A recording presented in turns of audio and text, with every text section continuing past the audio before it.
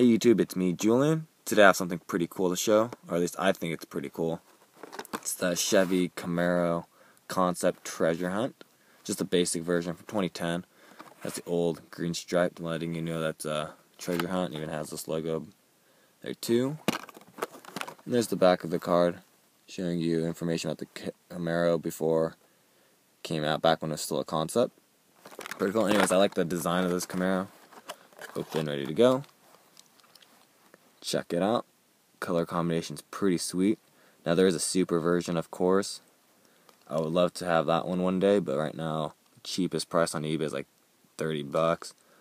And I've seen them go for even more than that. So for the time being, I'll pass. But one day, I'll try to get it.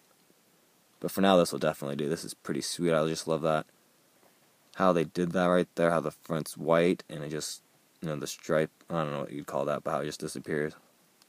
The white and orange combination is pretty cool. The tail light and the emblem in the back is detailed. And of course, you got the TH logo there telling you that's the treasure hunt. And then the super version, I believe it does have rubber tires and I think it's orange Spectra Flame paint. And I thought this was pretty interesting. It has the chrome base. Pretty used to Camaros having, at least the more recent ones, having a black base. That's pretty cool.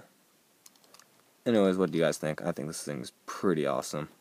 Glad I was able to pick it up for a nice, for a pretty fair price. The interior is white too, I guess. Kind of grayish.